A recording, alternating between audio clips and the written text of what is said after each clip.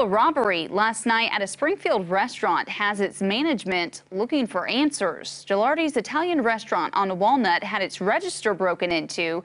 KOLR 10's Jesse Inman spoke with the restaurant's owners today to hear what happened. Well, Heather was all caught on the surveillance camera at the restaurant just before 8.30 last night. You can see it here. The man reaches over the bar and helps himself to over $500 of what was kept in that cash register at the bar. And the two owners of Gilardi's told me they have an idea of what led to this theft.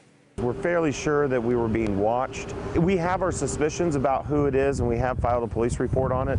This is James Martin, chef and owner of Gilardi's restaurant on historic Walnut Street. And his gut feeling is that the person who stole money from their register $530 was someone who is familiar with their operations. It was someone who knew the business.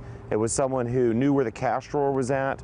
And according to the video, he sat right next to that cash drawer, waited, waited for the server's attention to be diverted, and was in and out of the building in about 35 seconds. As soon as I left, eight minutes later, he walked in that door.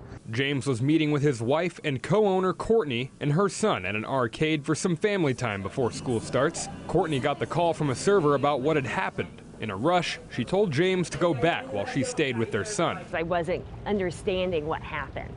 So I called back up to get more detail. Um, and that's when it clicked in my head that it had to be planned out. They knew where the register was, they knew how to get into it. You may not think $530 is a lot to a restaurant, but it has more of an effect than you think. For a small business, it hurts a lot.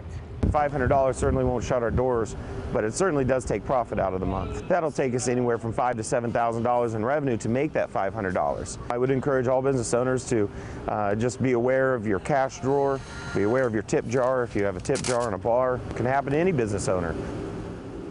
And this video already has about 25,000 views since it was shared on the restaurant's Facebook page.